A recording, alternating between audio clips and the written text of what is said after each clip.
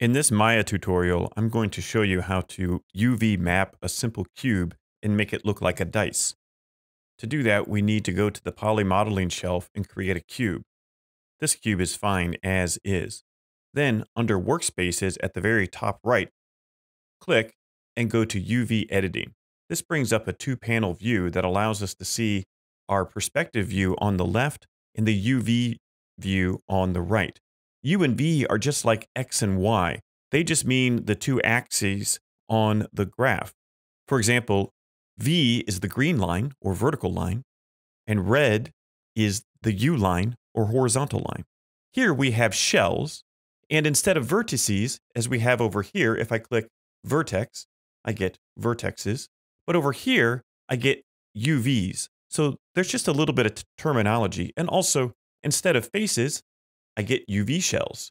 Over here, it's face, and over here, UV shell. So I can select all these UV shells and see them all. I can also turn on wireframe, so now I don't see anything here, and I could see a texture behind this, and I can see it with the UV shells shown. Notice that this point is 0 and then 1. Same here, 0 and then 1. We call this the 0 to 1 space, and we want all of our UV shells to be inside this space. For this simple cube, Maya automatically unwraps it perfectly. So this is just like unwrapping a present, the minimum amount of paper you need to wrap this cube. And if I select face over here, I can click on each face and see which one corresponds to which UV shell over here. What I want to do is be able to take this diagram and export it into an image editing program so I can create a texture. To do that, I need to right click in the UV editor and select UV shell. Select all of the shells, then click the camera. When you click the camera, it should default to your project image folder. You can select which size you want this to be. This is fine for the small dice texture, and you want to select the Maya IFF format. Also, make sure you uncheck the anti-alias lines. That way we can have nice, crisp easy to see lines.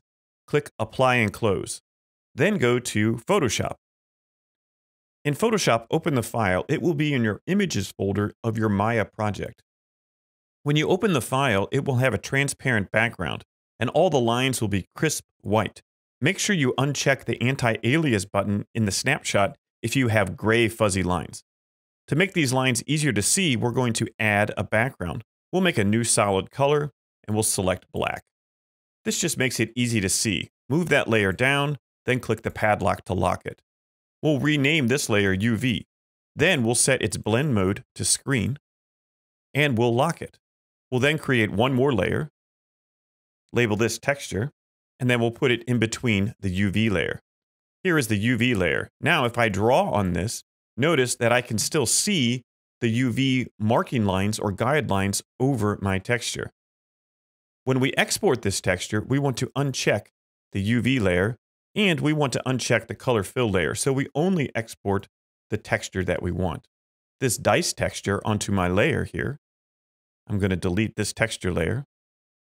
When I export it, I don't want to see the UV lines and I don't want to see the background.